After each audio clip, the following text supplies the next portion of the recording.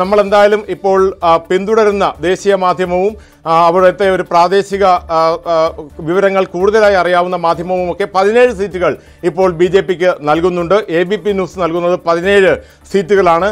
ത്രിപുര ബോത്ത നൽകുന്നത് അവർക്ക് നൽകുന്നത് ഇപ്പോൾ രണ്ട് സീറ്റുകളാണ്. അപ്പോൾ ഇടതുപക്ഷത്തിന് ഇതുവരെ ഒരു സീറ്റിൽ പോലും ലീഡ് നേടാൻ കഴിഞ്ഞിട്ടില്ല എന്നതാണ് ത്രിപുരയിലെ ഫലസൂചനയായി പുറത്തേക്ക് വരുന്നത്. ഇത് അവസാനത്തെ ഫലസൂചനയായി മാറുമോ?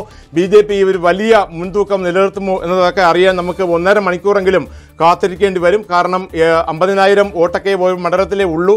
പക്ഷേ ഇരുപത്തി അയ്യായിരം വോട്ടെങ്കിലും എണ്ണി കഴിയുമ്പോൾ മാത്രമേ ഈ ഒരു സൂചനകൾ അങ്ങനെ തന്നെ നിലനിൽക്കുമോ അവസാനം വരെ നിലനിൽക്കുമോ എന്നുള്ള കാര്യം വ്യക്തമാവുകയുള്ളൂ. എന്തായാലും ഇപ്പോൾ ബി ജെ പി പതിനേഴ് സീറ്റുകളിൽ മുന്നിട്ട് നിൽക്കുന്നു.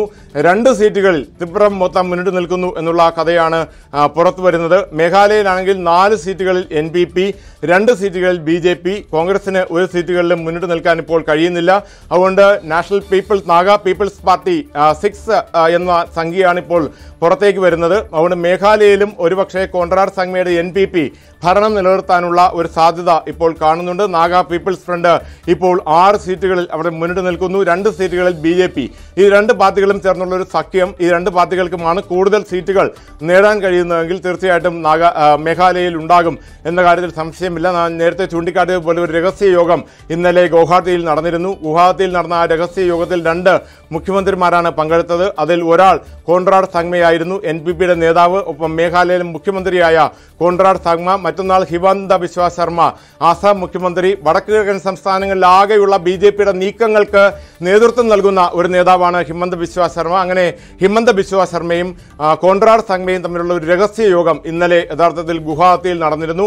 ആ യോഗത്തിൽ ഭരണത്തിൽ തുടരാനുള്ള എല്ലാ വഴികളും സ്വീകരിക്കാൻ രണ്ട് പാർട്ടികളും തീരുമാനിക്കുകയും ചെയ്തു. രണ്ട് പാർട്ടികൾക്കും ചേർന്നൊരു സഖ്യം ഉണ്ടാക്കാനുള്ള സാഹചര്യം ഉണ്ടായാൽ ബി ജെ പി പിന്തുണയ്ക്കാം എന്ന് കോൺട്രാഡ് സംഗ്മ പറഞ്ഞു എന്നാണ് മനസ്സിലാക്കാൻ കഴിയുന്നത്. അല്ലെങ്കിൽ ബി ജെ പിയുടെ പിന്തുണ സ്വീകരിക്കാം എന്ന് കോൺട്രാഡ് സംഗ്മ പറഞ്ഞിട്ടുണ്ട്. ദേശീയ തലത്തിൽ കേന്ദ്ര തലത്തിൽ കോൺട്രാഡ് സംഗ്മയുടെ പാർട്ടിക്ക് കൂടുതൽ എന്തെങ്കിലും കൂടി നൽകിക്കൊണ്ട് ബി ജെ പി അവരെ കൂടെ നിർത്താനുള്ള ഒരു സി പി ശ്രമമാണ് ആദ്യ കണക്കുകളും വരുന്നു. രണ്ട് സീറ്റിൽ സി പി എം ഇപ്പോൾ മുന്നിലാണ്. വോട്ടെണ്ണൽ ആദ്യ പത്ത് മിനിറ്റ് പിന്നിടുമ്പോൾ.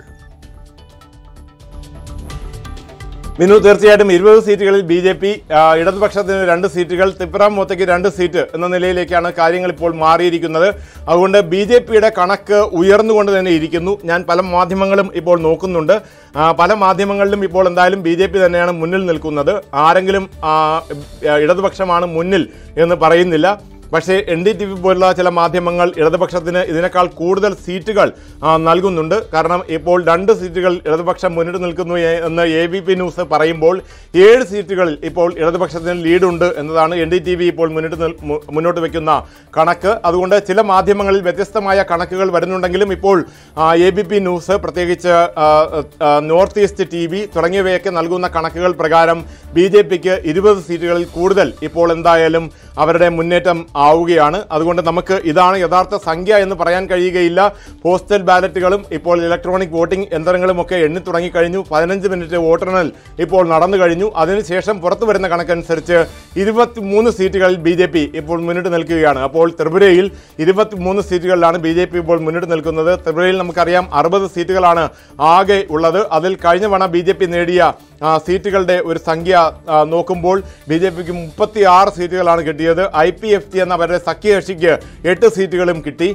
ബി ജെ പിയും ഐ പി എഫ് ടിയും ചേർന്നുള്ള സർക്കാർ രൂപീകരിക്കുമെന്ന് തെരഞ്ഞെടുപ്പിന് മുമ്പ് തന്നെ പാർട്ടി പ്രഖ്യാപിച്ചിരുന്നു. അതിന്റെ അടിസ്ഥാനത്തിൽ ഐ പി എഫ് ടിക്ക് സീറ്റുകൾ നൽകിക്കൊണ്ട് മന്ത്രിസ്ഥാനങ്ങൾ നൽകിക്കൊണ്ടുള്ള ഒരു സർക്കാർ തന്നെയാണ് നിലവിൽ വന്നത്. പക്ഷേ ആരുടെയും പിന്തുണയില്ലാതെ ഭരിക്കാനുള്ള ഒരു സംഖ്യ കഴിഞ്ഞ തവണ അവിടെ ബി ജെ പിക്ക് കിട്ടുകയും ചെയ്തു. മുപ്പത്തി ആറ് സീറ്റുകളിൽ ബി ജെ പി കഴിഞ്ഞ തവണ അവിടെ വിജയിക്കുന്ന കാഴ്ചയാണ് കണ്ടത്.